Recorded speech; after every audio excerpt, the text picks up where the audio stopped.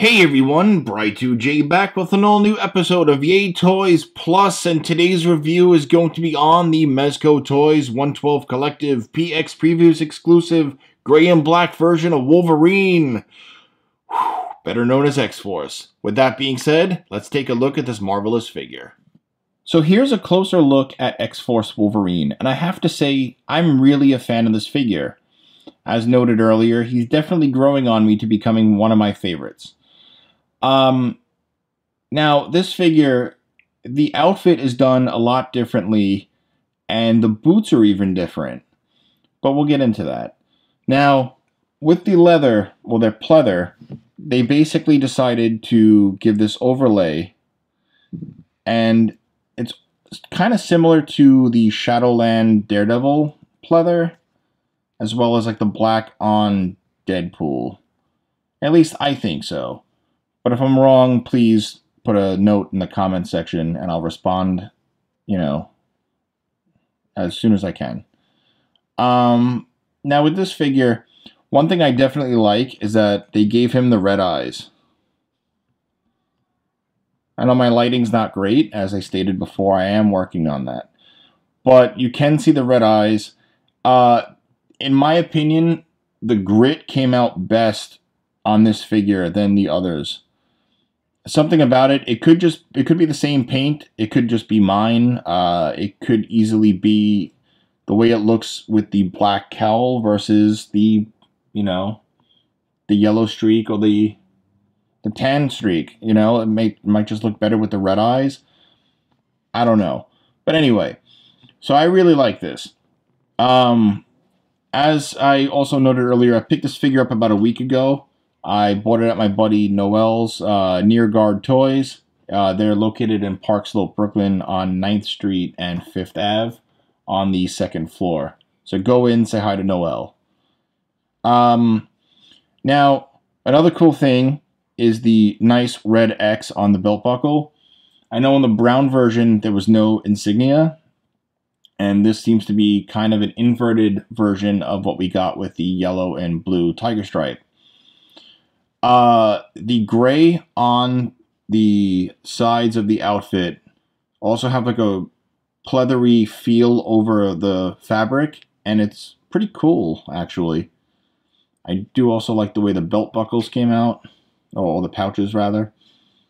The claws, once again, are on point. They're nice and sharp, so be careful. I know they're not metal, but they're made to look like metal. They're a harder plastic but nice and shiny, as you can see. Um, the kind of metallic overwash on the shoulder pads came out looking really nice, as well as on the belt and on the boots. Now, like I said before, the boots are different. Um, as you see here, this is a new look to say Tiger Stripe, which share the same boots with the brown and tan versions. So yeah, it's kind of different, you know. I like that they decided to change up the figure just a little bit more, you know. It's definitely definitely pretty cool that they uh, you know, even though it's the same body mold underneath and that it's still Wolverine, it's kind of a completely different figure. Now let's talk about Wolverine's accessories. So Wolverine comes with two heads. There's the gritted teeth head, and then you get the one that is standard in package, and that's the straight-faced one. That's this one right here. Also with the red eyes, looking really good. Again, I'm not sure if it's just mine or ones from like, you know, like differs box to box. I'm not sure but I think it came out really nice looking. Another thing you get is the Muramasa blade. It also came with the uh, brown and tan version of Wolverine. This time the blade is silver and not red, and then you get the um, the sheath. And the sword fits in the sheath pretty well, actually. So yeah, that's pretty cool. Nice detail on the uh, on the what's supposed to be like the cloth. I forget what they call that off the top of my head. For like the strap. That looks really good. Um now of course you get those lovely claws on Wolverine. And then in the package you get a set of default fists, which would be standard pretty much with every figure ever. So uh give you guys a better look at this. So yeah, that's the fist. I like the fact that they paid attention to detail and you could actually see that the claws would be coming out right through there. Sorry guys, trying to, there we go. So you can actually see that a little bit better now. So you get a pair of those you get a pair of open choky grabby hands. Also looking really good with the nice attention to detail. And then this time around, you actually get two open hands, like grip hands, where on the brown and tan, you only got one, and I think it was the right. I'm not 100%. So again, comment down below to correct me or agree with me. But yeah, so those are the hands that you get. Uh, Wolverine, like every other Mezco, comes with a display stand that's two parts. So this is the uh, standard base, right? And then if you want to have him do a jump or pose him, you know, like he's about to leap, you get this piece here. And then again, that detaches through here. You pop out this little tiny Lego piece. Don't lose that, or else you'll be wishing you didn't. Uh, I've lost them before. Um, so here you also have the, uh, oops, sorry about that. So you got the, you know, swivels there, grip there. Mine's a little tight. I got to fix that. Articulated here, articulated here, here, and then when it's in the base, you can, you know, rotate it side to side. I tend to not always use those, so I just put the little piece back in here. Uh, and then he also comes with the Ziploc bag, kind of similar to, say, Figma. Um, so yeah, those are the accessories that come with Wolverine. So this is Mezco Toyz' third installment of Wolverine. The first Wolverine that we got was the Tiger Stripe Yellow and Blue from New York Comic Con. And then the second installment was the brown and tan version from a few months back. And if I can get him to stand. There we go. So honestly, they look great in a side-by-side-by-side -side comparison. However, I'm really leaning toward the X-Force version being my new favorite. Uh, the Tiger Stripe version was definitely number one for me. And then the brown and tan version came out, and yeah, sure, there's certain things that we don't like. The tortoiseshell uh, shoulder pads on the X-Force and the brown versions. Um, I like the shoulder pads on the Tiger Stripe better. But it's small little things. I know certain people had stitching issues, and you're going to get that. It's a, you know, faults happen. And then, of course, the uh, biker shorts on the brown version from the original promo photo to what we have, sure, there are going to be some things that someone is going to nitpick on. I am not one of those people for the most part. I like all three versions equally. So with that being said, let's get into more of X-Force Wolverine. So one of the things I like about Mezco is that their option parts are pretty easy to swap.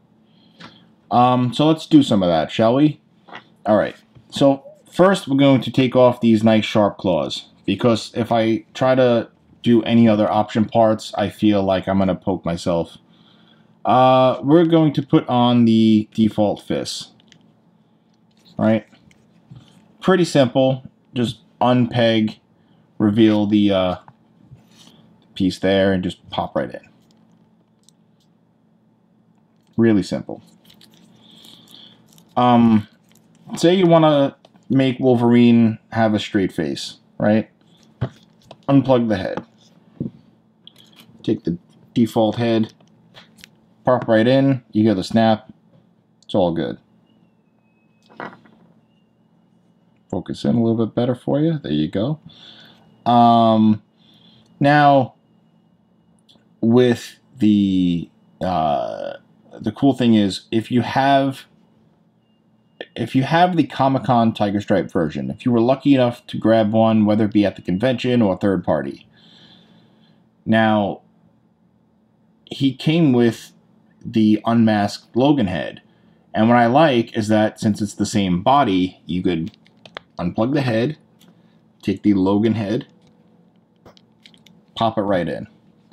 And honestly, I think this head looks best with this version of Wolverine like hands down, this is probably the way I will display him every now and again. Um, so yeah, I think that looks pretty good. Now, Mezco, right? Uh, Mezco has a really good amount of articulation that's hidden um, because of the fabric. It's also restricted sometimes because of the fabric. But let's get into our articulation. Uh, maybe we'll even call the new segment for future videos articulation time. Just a thought. You let me know. Anyway, so the head can go all the way around because it's on a ball peg. Looks down pretty far. Back about that much. These shoulder pads, mine are wonky, but the shoulder pads have articulation in them to uh, allow better mobility in the arms. The arms can go all the way around, but because I don't want to spend 20 minutes fighting with a shoulder pad, I'm not going to spin them. The arms can go out about that far on mine, probably a little further, but again, the shoulder pad. Um, the upper bicep does swivel. He does have a double jointed elbow, which mine seem to be very tight. Uh, as you saw with the wrist peg, you can get full mobility. He does have a diaphragm joint. Crunches not great. Doesn't go, but he goes back a little bit further than he crunches. Um, the waist swivel is kind of hindered on mine. So let me know if you have this figure and it's hindered or not on yours. Uh, he can do the splits, but I wouldn't go too far because you don't want to risk ripping the uh, the stitching. Kicks forward about that far, back about that far. Double jointed knees. The top of the boot does rotate. And he has some sort of ankle pivot. But, you know, it's Mezco. Their ankle pivot's not great. But it's, you know, it is what it is. And I don't, I don't mind it. So while I was thinking of words to say, I decided to keep Wolverine posed this way with the claws and the unmasked head. He's going in, into the display cabinet this way. So that's about it for this video, guys. Thank you so much for watching. Uh, if you liked the video, please hit the like button. If you haven't subscribed already, please do so. You can always find the uh, channel under Yay Toys Plus with the Captain America insignia. I think that's a pretty cool logo. What do you think? Um, it's also a Mezco. Anyway, uh, so thank you guys to those who have already subscribed. The channel reached 212. I think that's really awesome of you for supporting the little guy. I'm going to definitely be doing a front face camera thing eventually sometime soon as a personal thank you. Um anyway, you can definitely find this video on innercitygeeks.com as well. And if you want to follow me on social media, I'm at BRI underscore 2J on both Twitter and Instagram. And if you want to follow the channel, you could follow the channel at Yay Toys Plus. So with that being said, thank you so much. And there'll be pics at the end. Hope you guys enjoyed. Uh, lots of stuff coming, um, including Revoltech Captain America, which, again, if you guys follow the channel on Instagram, you know that's coming soon. So thank you guys, and I will catch you guys later. Peace.